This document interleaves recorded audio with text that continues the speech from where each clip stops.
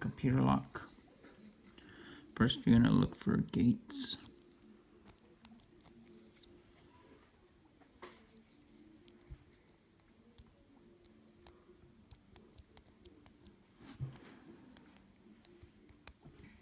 Number eight.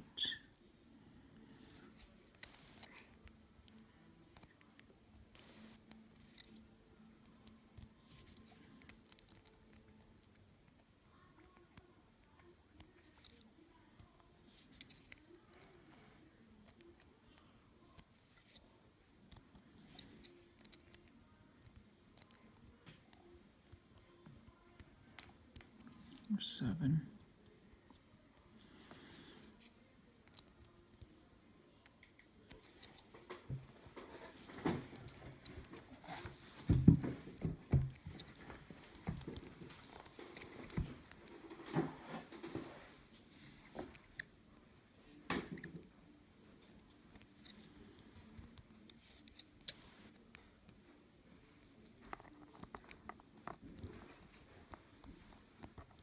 Number one.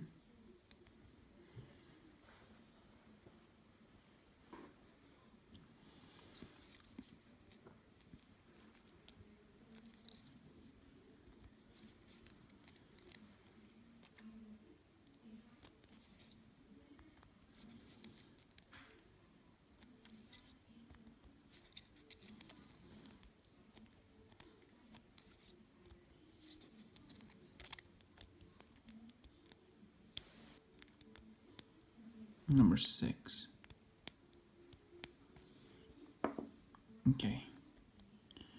So now you have all your gates set to their to their spot. So you see I, I got eight, seven, uh, one, and six. Eight, seven, one, and six. Those are my gates. So now what you're gonna do is you're gonna push down on this right here.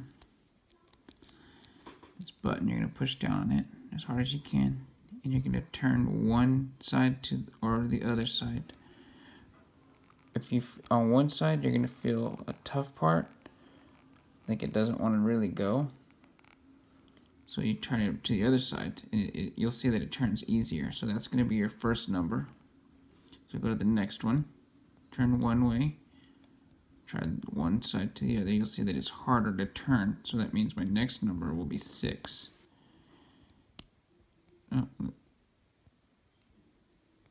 Just zero is my next one.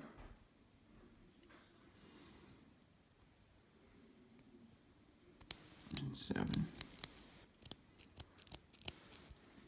It's that easy.